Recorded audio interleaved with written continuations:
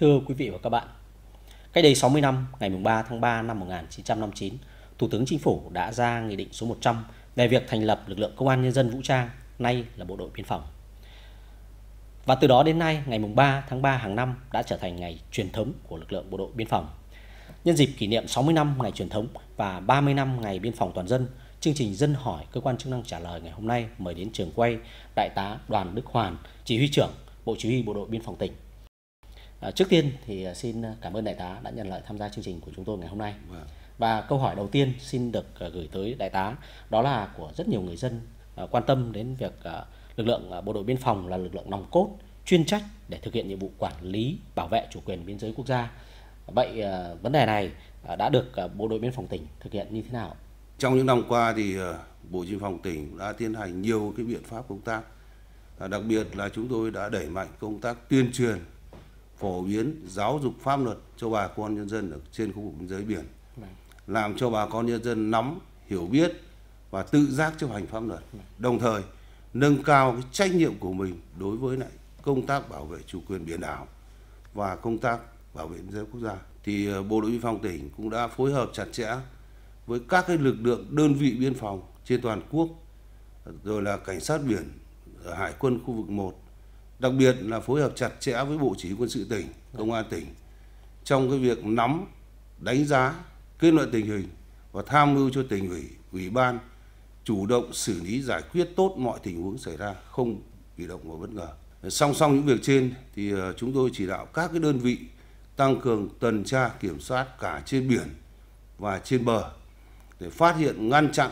và xử lý đúng pháp luật tất cả các hành vi vi phạm pháp luật trên biển. Dạ đối với cơ quan và các đơn vị biên phòng thì chúng tôi chỉ đạo thường xuyên bổ sung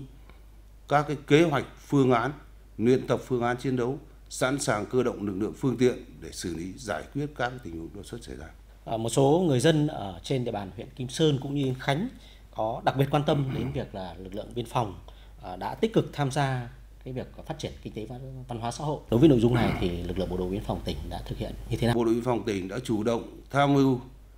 cho Ủy ban dân tỉnh, cho Bộ Quốc phòng và triển khai nhiều dự án trên khu biên giới biển của huyện Kim Sơn. À, đặc biệt là triển khai một số cái dự án trọng điểm như là làm cái đường điện à, từ D Bình Minh 3 ra uh, Cổ Nổi và hiện nay chúng tôi đang triển khai thực hiện cái dự án à, đắp đường nối liền từ Kim Sơn ra cồn Nổi với chiều dài là 6 km. Dự kiến là cuối năm 2019 thì ờ, sẽ đưa vào hoạt động. Và tháng 12 năm 2018 thì Bộ Biên phòng tỉnh cũng đã phối hợp với các cơ quan chức năng của Bộ Tư lệnh Biên phòng xây dựng đê chắn sóng và mở rộng cồn Nổi. Với các cái dự án trên khi hoàn thành thì ờ, sẽ mở rộng được cái phạm vi diện tích tự nhiên của huyện Kim Sơn và nó mở ra một cái tiềm năng phát triển kinh tế xã hội ở trên cái khu biên giới biển đồng thời là uh, nó trở thành uh, nó xây dựng lên một cái thế trận phòng thủ liên hoàn và vững chắc trên khu biên giới tiệm biển của tỉnh. À, nhiều năm qua thì lực lượng bộ đội biên phòng tỉnh đã làm tốt việc uh, cải cách thủ tục hành chính trong kiểm tra kiểm soát ở cửa khẩu cảng. Nhiều người dân cũng như doanh nghiệp uh, muốn đồng chí cho biết rõ hơn về nội dung này. Thực hiện cái chủ trương cải cách thủ tục hành chính của chính phủ cũng như là của ủy ban tỉnh thì ờ, Bộ Chỉ phòng tỉnh cũng rất là quyết liệt chỉ đạo các đơn vị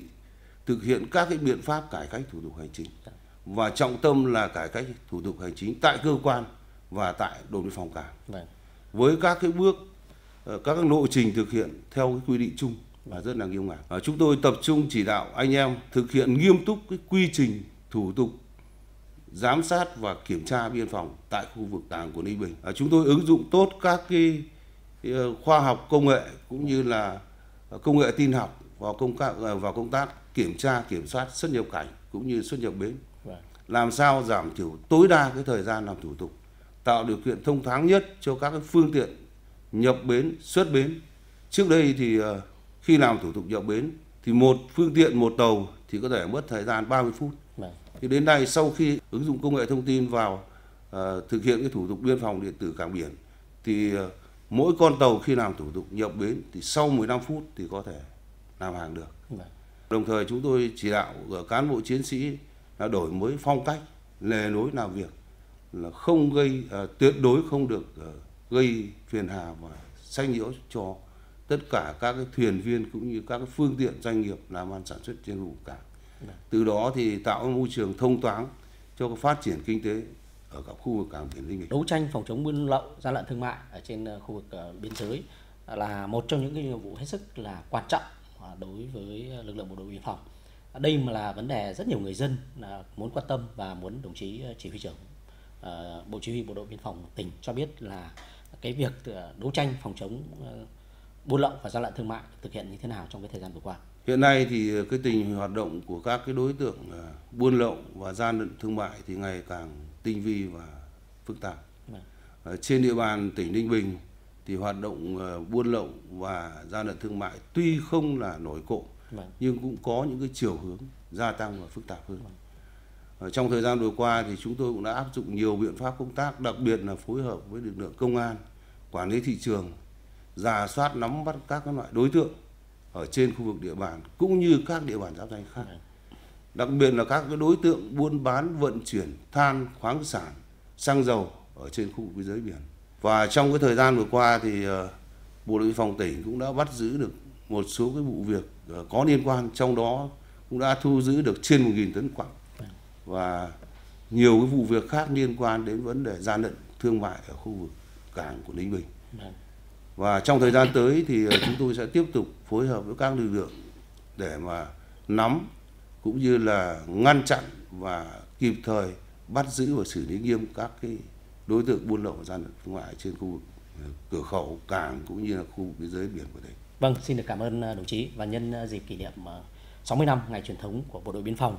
À, những người thực hiện chương trình xin gửi tới đồng chí cũng như toàn thể cán bộ chiến sĩ của bộ đội biên phòng tỉnh lời chúc sức khỏe và luôn hoàn thành xuất sắc những nhiệm vụ mà Đảng, Nhà nước và nhân dân giao phó.